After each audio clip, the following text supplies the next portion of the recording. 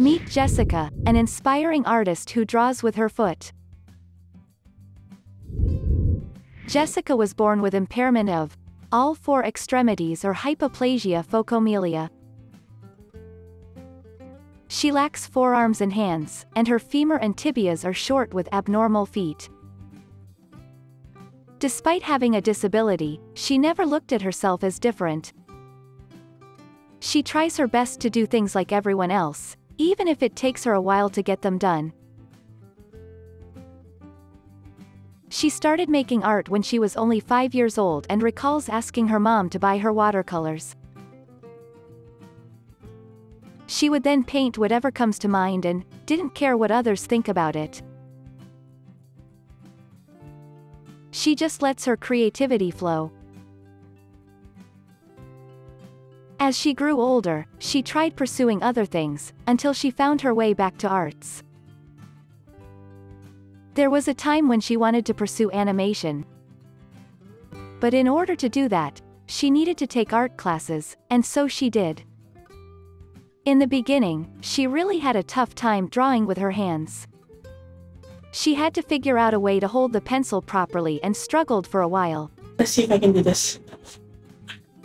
Left, right, left, right, left. She even got frustrated with Oh herself.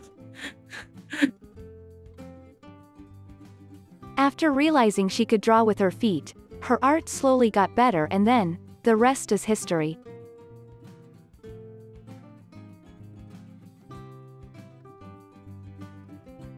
Now, she creates art to inspire everyone born uniquely different.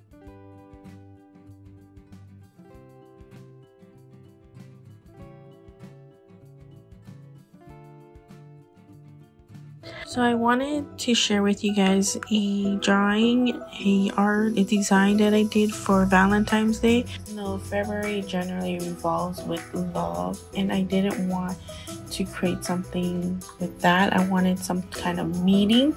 She even makes caricatures of our favorite influencers like Niana Guerrero.